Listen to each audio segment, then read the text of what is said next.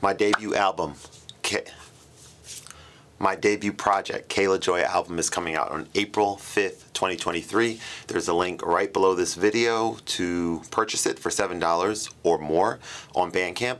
Um, and it's going to come out a week later on all streaming platforms. I'm so excited. I cannot wait for you guys to hear it.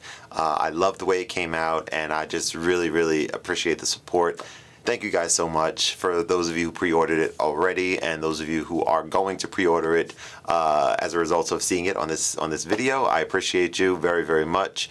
And uh, let's let's let's do this. All right I'm excited. Talk to you later. Take care